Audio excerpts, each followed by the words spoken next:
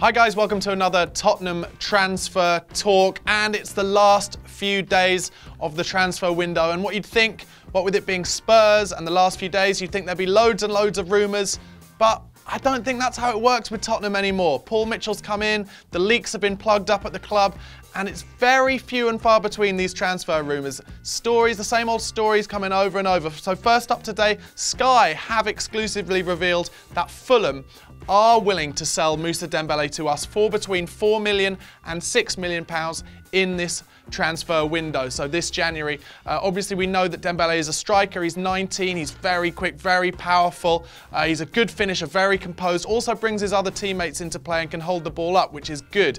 Um, also, he's out of contract in the summer, so you can see why Fulham might be willing to take a few million quid on that.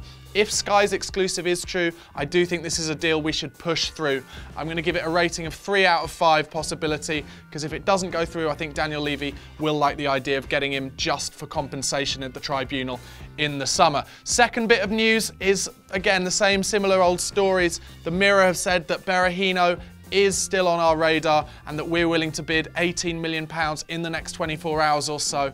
To me, again, unless we bid the 25 million pounds up front, like Jeremy Peace at West Brom wants, I just can't see this one going through. I can see myself standing here on deadline day, as I was in August, just saying, surely it's got to go through, and then it won't. I think they are willing to let Berahino sit on the bench rather than give Spurs a transfer deal at the price that Daniel Levy wants it. That's what I think, guys. What do you think, though? Should we get Dembele? Should we get Berahino? Let us know in the comment section below. Don't forget to subscribe to the channel on YouTube. Follow us on Twitter, at SpurredOnTV.